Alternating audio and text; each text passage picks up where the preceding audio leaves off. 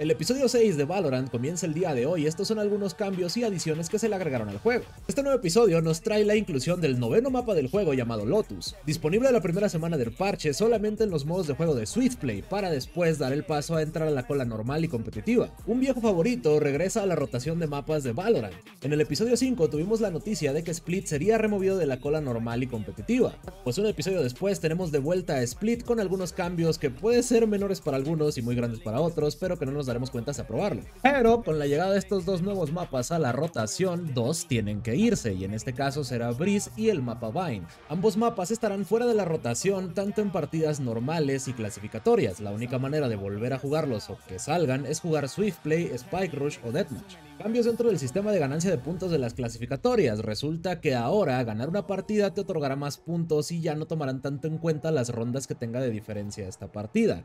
Sin embargo, también hicieron una actualización en la cual ahora el KDA importa un poco más, ya que recibirás más puntos dependiendo de tu KD dentro de la partida. En cuanto a agentes, el único que tocaron en este parche al parecer fue Omen, al cual le nerfearon, por así decirlo, los humos. Ahora ya no se van a poder quedar flotando para hacer algunos one-ways y estos caerán al suelo. Cabe aclarar que no absolutamente todos los one-ways de Omen fueron nerfeados, solamente algunos que no dijeron cuáles, pero supongo que se van a dar cuenta. Como en todo nuevo episodio, también se agrega un nuevo pase de batalla, el cual lo voy a pasar aquí rapidito, en el cual puedes obtener skins y demás cosas que ya conoces.